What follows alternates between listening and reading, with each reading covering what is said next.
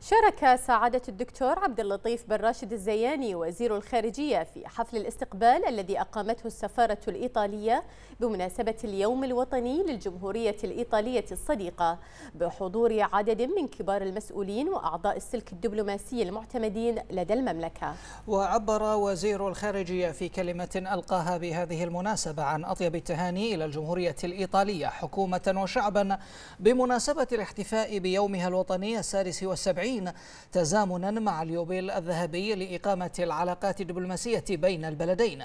مؤكدا سعادته حرص مملكة البحرين بقيادة ملك البلاد المعظم حفظه الله ورعاه.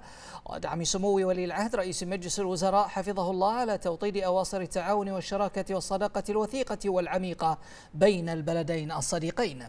وأضاف أن العلاقات البحرينية الإيطالية اكتسبت نقلة تاريخية نوعية بزيارة رسمية لصاحب الجلالة الملك المعظم إلى روما في عام 2008 وما شهدته من توقيع للعديد من الاتفاقيات ومذكرات التفاهم وتواصل الروابط الودية بإجراء 17 زيارة رسمية وبلوغها أزهى مستوياتها بزيارة صاحب السمو الملكي ولي العهد رئيس مجلس الوزراء إلى روما في فبراير 2020 وافتتاحه مقر السفارة البحرينية لتكمل دور السفارة الإيطالية المتواصل في المنامة منذ عام 2002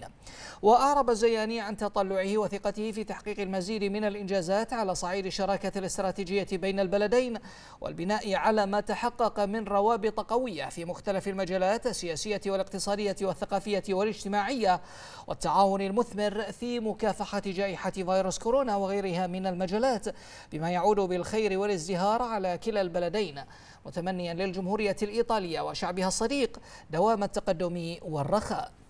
من جانبها تقدمت سعادة السيدة باولا أمادي سفيرة الجمهورية الإيطالية لدى مملكة البحرين بالشكر والتقدير إلى صاحب الجلالة الملك المعظم وصاحب السمو الملكي ولي العهد رئيس مجلس الوزراء ووزارة الخارجية على الاهتمام بتعزيز التعاون السياسي والاقتصادي والصداقة بين البلدين وما تشهده من تطورات نوعية بافتتاح المملكة لسفارتها في روما وتسيير رحلات جوية مباشرة إلى ميلان وروما وغيرها من التطورات الإيجابية تزامنا مع الاحتفاء باليوبيل الذهبي لإقامة العلاقات الدبلوماسية متمنية لمملكة البحرين وشعبها المزيد من التقدم والازدهار.